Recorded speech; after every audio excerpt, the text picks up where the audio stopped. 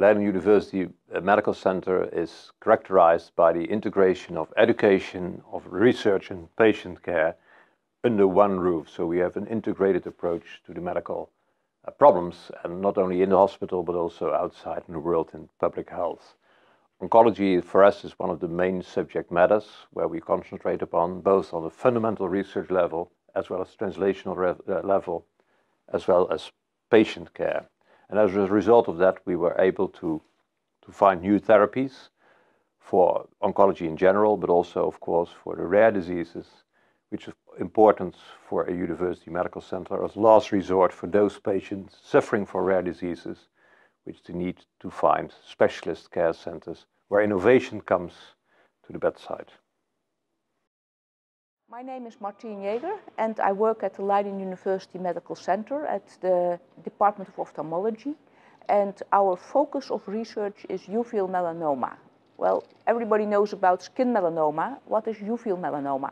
It's a tumor inside the eye, it's a rare tumor and when this tumor grows in the eye, eye doctors can take very well care of it.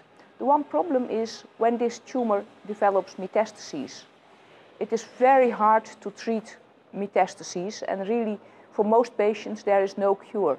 So it is important to develop a treatment for this and that's what we are trying to do.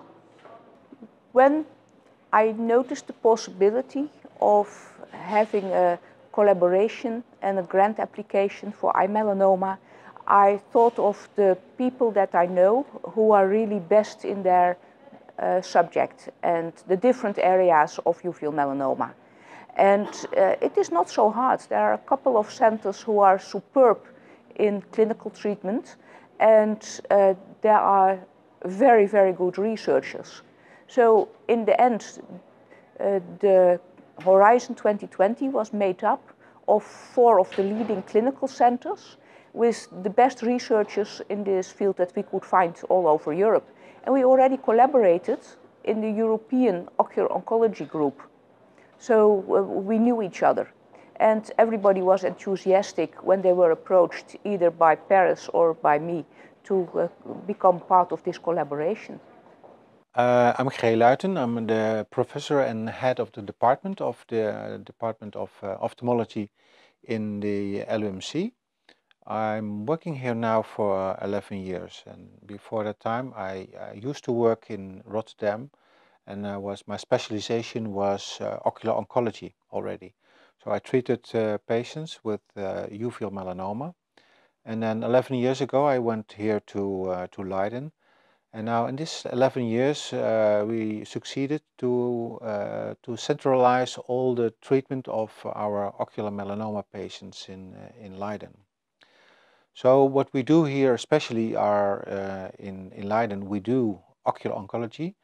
And separately, we, we are focusing on um, medical retina and on pediatric ophthalmology. Uh, I think those three are the most important uh, subjects of our department. And uh, we, um, we collaborate with uh, a lot of other departments in, uh, in our hospital and also nationally and of course, uh, we uh, collaborate with a lot of other uh, departments and colleagues around the world because I think that's the most important improvement to get better quality of care in our patients um, and also to get more um, uh, innovations in, uh, in our treatments. So finally, it, it, it, ends up in improvement of the treatment of the patients, of course. I'm Pieter van der Velden from the Department of Ophthalmology from the Leiden University. And uh, in Leiden we uh, do molecular analysis of uveal melanoma. And uh, we uh, try to make it very simple. We, uh, we, work with the dogma, cancer is a genetic disease and, uh, and it's characterized by an accumulation of mutations. And that causes some heterogeneity with time if the mutations accumulate. And that's what, that's what we analyze. And by analyzing the heterogeneity very uh, quantitatively, we can deduce an order of events. So we really can analyze a tumor at a certain moment and deduce based on the heterogeneity, we can deduce the order of events that happened in that tumor. And we found, uh, actually could find uh, the precursor lesion uh, expressing already the, the, the GNAQ and the GNA11 mutation. So uh, that really proves that the, the, that mutation is a driver of, of uh, uveal melanoma development and, uh, and that's, yeah, that's, that, that, that proves the hypothesis that that's the first uh, thing that happens, but also that our approach is sound. I'm Annemijn Wierenga. I'm currently a PhD student with Martine Jager at the Leiden University Medical Center. And I also studied at the Leiden University Center, so I studied medicine.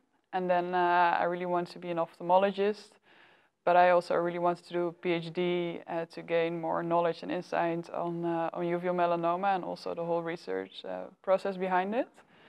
So I'm currently uh, in UM Cure 2020 and I'm uh, busy with setting up the organizational stuff around collecting UM uh, samples and we're st still setting this up in the, in the clinic. So it's very important that patients are well informed. So before we can include patients in the study, we explain a lot about the study to them. We also have a file that's uh, patient information. So we give this to the patients and they, have, uh, they can read it in their own time and then they can sign it. Uh, the doctors sign it as well. And it's very important that all of these centers have a very concise uh, patient information uh, file. So afterwards, when we have the data, it's very important that we keep the data anonymous, but we do share this anonymous data amongst the centers to improve the research.